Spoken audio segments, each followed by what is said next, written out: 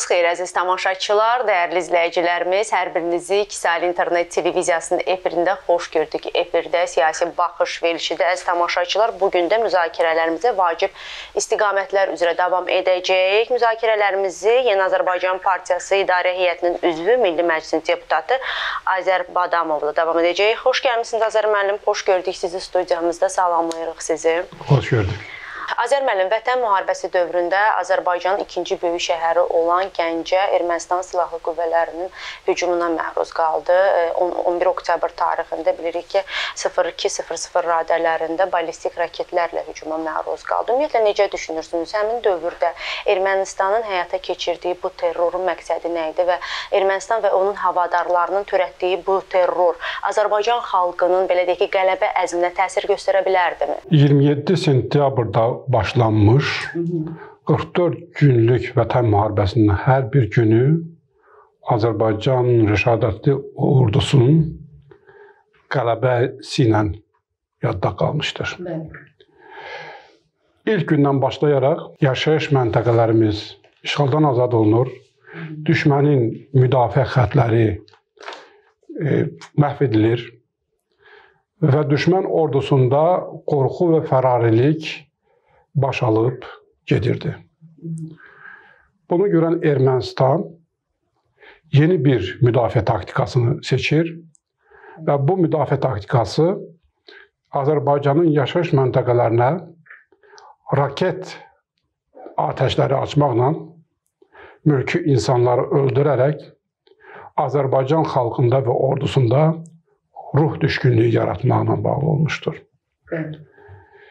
Qeyd elədiyiniz Gəncə şəhərinə müharibə dövründə 5 dəfə raket atəşləri açıldı və onların ən ağır atəşləri məhz bu gün də ayın 11 oktyabrında 2020-ci ildə və son atəşi isə 17 oktyabrda 2020-ci ildə edilmişdir. Məhz bu raket atəşləri nəticəsində Azərbaycanın dinc sakinləri, Gəncə şəhərinin dinc sakinləri şəhid olmuş və yaralanmışdır.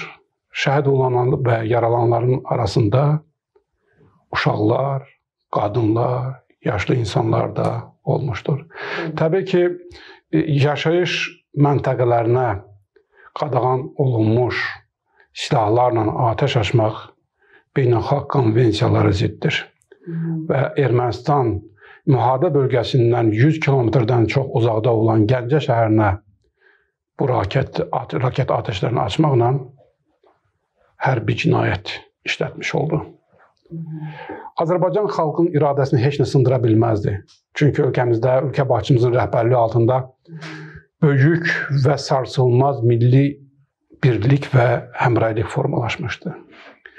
30 ildə torpaqlarımızın işğaldan işğalın altında olması Azərbaycan xalqında böyük hiddət yaratmışdı və hamı istəyirdi ki, silaha sarılıb ordu ilə bir yerdə düşmənləri torpaqlarımızdan qovub çıxartsın. Və o ermənilərin atdığı o raket atəşləri insanların ruhunu sındıra bilmədi. Əksinə insanlarımızı daha da birləşdirdi, xalqımızı daha da birləşdirdi və müharibənin daha əzmlə aparılmasına imkan yeri bir imkan yaratdı. Təbii ki, müharibəni biz 44 gündə qələbə ilə başa çatdırdıq.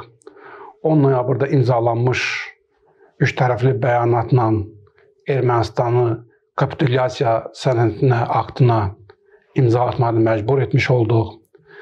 Və bu 3 il ərzində Azərbaycan xalqı, Azərbaycan dövləti qələbə sevincini yaşayır. Və bundan sonra heç vaxt heç bir kəs Azərbaycan torpaqlarına qarşı hər hansı bir iddia irəli sürə bilməz və heç kim xalqımıza, xalqımızın təhlükəsizliyinə, e, tə, xalqımıza hər hansı bir təhlükə yarada bilməz. Çünki ordumuz, xalqımız bu gün daha mətindir, daha birləşib və hər bir xarici təhlükəni, təhdidi dəf etməyinə hazırdır. 19-20 sentyabr tarixində Azərbaycan ordusu lokal xarakterli antiterror tədbirləri həyata keçirdi və 3 il ərzində Qarabağda qara yara kimi qalmış boz zonas olan erməni separatçıların rəhbərliyi altında qalmış ərazilər təmizləndi və separatçıları ağ bayraq qaldırmasına məcbur etdi. Və Azərbaycan ordusu şərt qoydu ki, Erməni Ermənistanın qeyri-qanuni silahları tərksilah olunmalı, silahları təhvil verməli və ərazilərimizi tərk etməlidir. Və belə də oldu. Azərbaycan dövləti təhlükəsizlik orqanları məhz Gəncə terrorun terroruna əmr verən Arayik Artunyanı həbs edərək Bakıya gətirildi. Gəncə terroru törədəndə Arayik Artunyan video şəkildə müraciət etdi və orada qürurlanaraq Azərbaycanı təhdid edirdi. Bu gün isə o vaxt canavar kimi özünü aparan Artunyan siçan kimi gəlib qanunlarımızın qarşısında alacağı cəzasını gözləyir. Zaman dəyişilir və bir daha qeyd etmək istəyirəm ki, Gəncə terrorunda tərtər və digər terrorlarda ələ olmuş, o cümlədən xalqımıza qarşı soyqırımlar törətmiş, bizim yaşayış məntəqələri, milli mədəni abidələrimizi dağıdaraq viran qoyan separatçının hamısını cəza gözləyir. Bəziləri bu gün müxtəlif yollarla ərazilərimizi tərk etməsinə müvəffəq olmuşdur. Amma zaman gələcəkdir ki, bütün cinayətkarlar yaxalanacaq və onlar da qanun qarşısında cavab verməli olacaqdır. İnşallah. Azər müəllim, istər e, torpaqlarımız işğalda olan dövrdə, istərsə də 44 günlük vətən müharibəsi və post-müharibə dövründə tarixin belə deyək, arxivinə atılmış Qarabağ münaqişəsinin həll olunması istiqamətində vasitəçilik missiyasını yerinə yetirmək məqsədi ilə yaradılan bir qurumun həmsədr dövlətlərindən biri olan Fransanın e, ermənidən daha çox erməni olduğunu gördük. E, və elə sizin də diqqətə çatdırdığınız kimi e, antiterror tədbirlərindən sonra bizim suverenliyimiz də təmin olunandan sonra biz Fransanın daha da e, sadə dillə desək qıcıqlandığının şahidi olduq. Ümumiyyətlə bu gün rəsmi Paris Ermənistanı silahlandırmaqla, onu yeni münaqişələrə cəlb etməklə regionu e, gərginliyə sürükləməyi özü üçün prioritet bir siyasətə çeviribdi. E, sizcə Parisin bu məqsədinin pərdə arxası məqamları nədən ibarətdir? Ümumiyyətlə Qərb Cənubi Qafqazda yeni cəbhə açmaq istəyinin məqsədi nədir? Buyurun. ATƏT-in Minsk qrupu BMT Təhlükəsizlik Şurasının qəbul etdiyi 4 qətnamənin icra edilməsi üçün mandat verilərək regiona göndərilmişdi. Azərbaycan dövləti 28 il ərzində bu qrupun təşəbbüsü ilə nə isə bir müsbət irəliləyiş olacağına ümid edirdi. Amma təəssüf ki, e, ATƏT-in Minsk qrupun həmsədri dövlətləri ərazilərimizdə erməni işğalının əbədiləşdirilməsinə çalışdı. Amma cənab prezident həmişə qeyd edirdi ki, Azərbaycan xalqı heç vaxt ərazilərin erməni işğalı altında qalması ilə razılaşmayacaqdır. Və ona görə də 44 günlük vətən müharibəsi baş verdi və Azərbaycan dövləti öz ərazilərini işğaldan azad etdi. Müharibə başlanana qədər Fransa Azərbaycana qarşı olan siyasəti gizli formada, üstü örtülü formada həyata keçirirdi. Amma müharibədə torpaqlarımızın işğaldan azad olunması Fransanı açıq şəkildə Azərbaycana qarşı Ermənistana birləşərək mübarizəyə keçməsinə, Azərbaycana qarşı qərəzli münasibətləri açıq şəkildə ifadə etməsinə gətirib çıxartdı. Və bu gün artıq Fransanın içində nə varsa biz yaxşı bilirik. Fransa heç vaxt həm 30 ildə torpaqların işğal altındakı olan 30 ildə Azərbaycanın xeyrinə nəsə bir addım atmadı, nə də indi regionda sülhün meydana gəlməsinə hər hansı töhfə verməyəcəkdir. Və son vaxtlar daha bu məsələni aydın şəkildə görürük. Ayın 5-də Fransanın Xarici İşlər naziri Katrin Kalona Yerevana səfər etdi və orada verdiyi açıqlamalarla Azərbaycana olan qərəzini bir daha ifadə etmiş oldu və qeyd elədi ki, Azərbaycan e, e, Ermənistana hər cürə o cümlədən hərbi dəstək göstəriləcək və burada məqsəd isə regionda gərginliyin daha da qızışdırılması, daşıyır. Düzdür, Qranadada 5 tərəfli görüş təşkil olunmalı idi. Azərbaycan dövləti bu görüşdən imtina etdi. Çünki görüşdə iştirak edən tərəflər Fransa idi, Ermənistan idi və Almaniya. Almaniyada Fransanın əlaltısıdır və onun dediyi ilə oturub dururdu. Ermənistanla Fransa isə bu görüşdə nəsə bir üstünlüyə nail olmaq istəyirdi. Azərbaycan isə Türkiyənin iştirakını təkidlə tələb etdi və Türkiyənin orada iştirakının ilə bağlı bizim tələbimiz imtina olunandan sonra Azərbaycan ümumiyyətlə Qranadaya səfərindən imtina etdi. Hı -hı.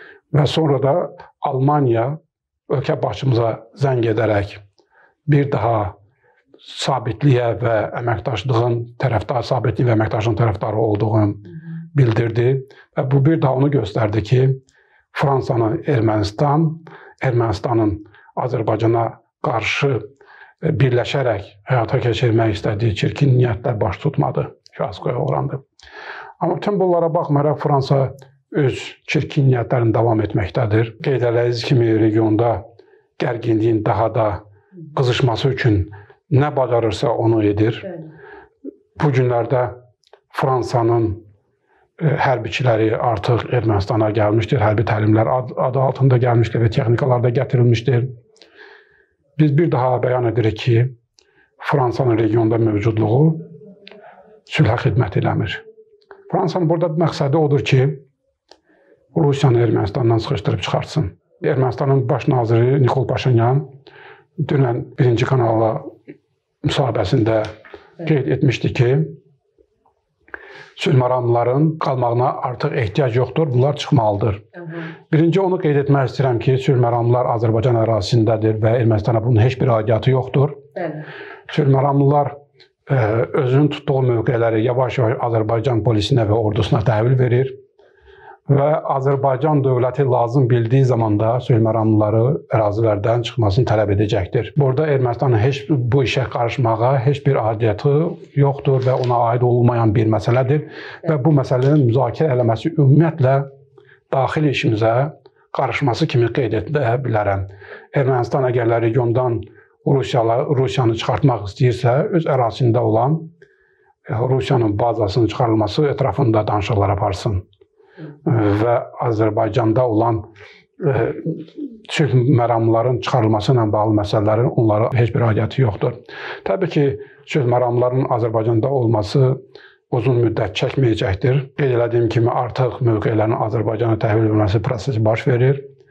E, ümumiyyətlə Rusiya sülh məramlarının Azərbaycana olması, Qarabağda olması onlara burada imzalamış üç tərəfli bəyanatın 4-cü bəndinə uyğun olaraq 2025-ci ilə qədər davam etməli idi. Azərbaycan yeni yaratdığı yeni reallıq bu müddəti daha da qısaldır və hesab edirəm ki, yaxın zamanlarda sülh məramlar ərazilərimizi tərk edəcəkdir.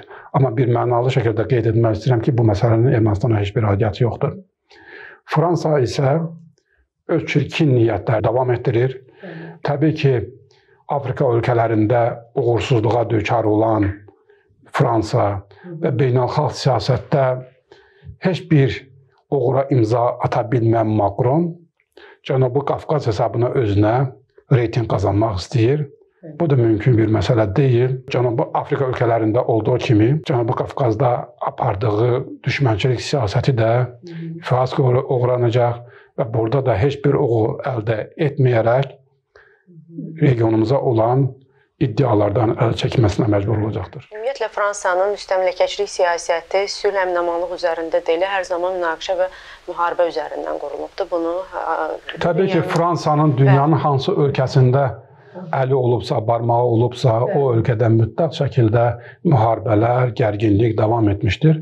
E, Fransanın məqsədi hələ gərginliklərlə, müharibələrlə üzv müstəmləkəçiliyinə davam etmək və e, xalqların, dövlətlərin, xalqların hüquqlarını tapdalamaqla dövlətlərin, xalqların milli sərvətlərini talan etməkdən ibarət olmuşdur. Azərbaycan isə Fransaya bu istiqamətdə üç ilkin niyyətlərin həyata keçirilməsinə heç vaxt imkan verməyəcək.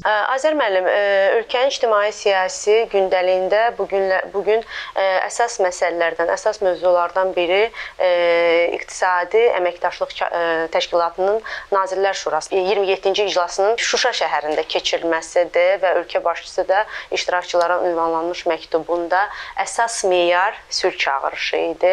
Və diqqətə çatdırdığımız kimi bu iclas Azərbaycanın Azərbaycan üçün mühüm belə şəhər olan, belə deyim, mədəniyyət paytaxtı olan Şuşa şəhərində keçirildi.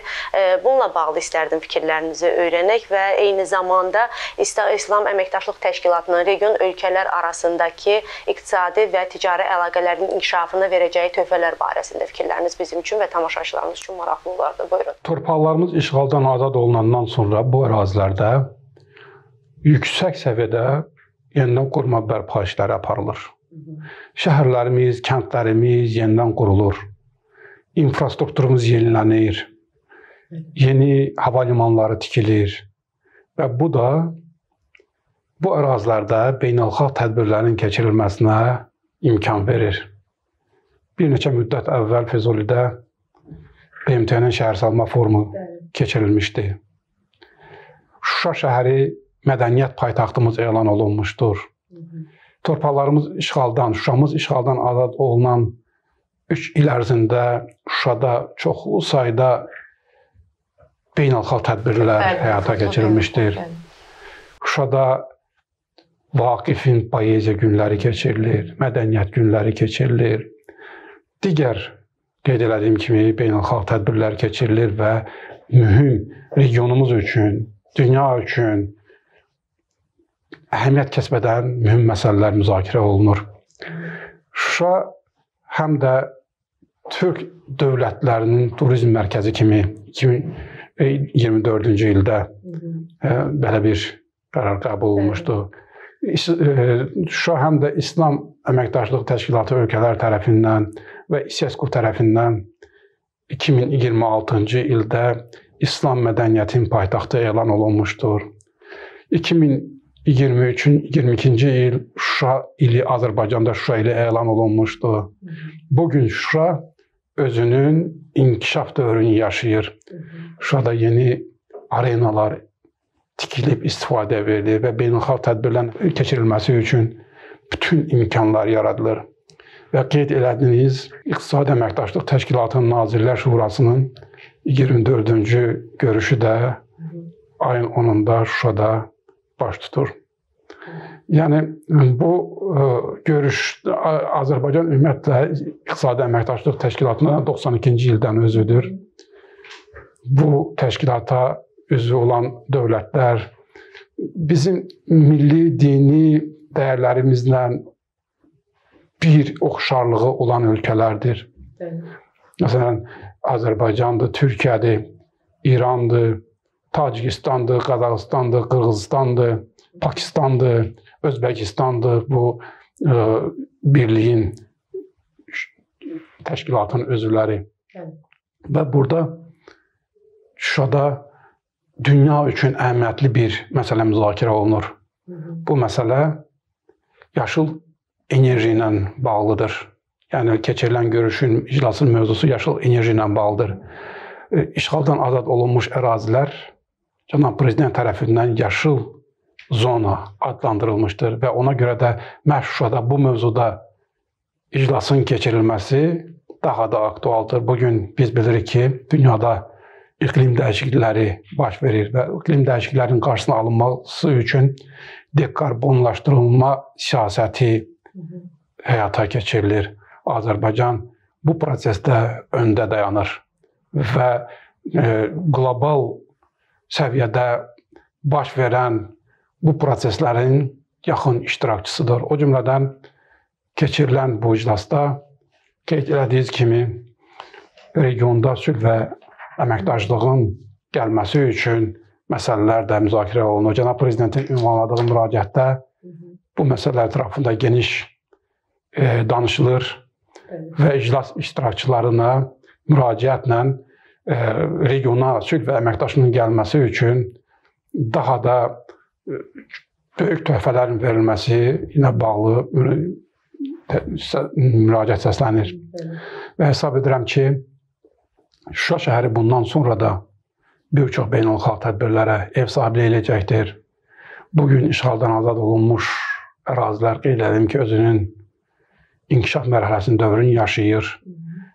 Gələcəkdə nəinki beynəlxalq tədbirlər, o cümlədən turizmi tədbirləri, o əraziləri görməyə, gəzməyə gəlmək istəyənlərin insanların sayı daha da çox olacaqdır. Artıq qeyd etdim ki, 19-20 sentyabr tarixlərində ordumuz Qarabağda separatizm yuvasını dağıtmaqla təhlükəsizlik tam şəkildə təmin etmişdir.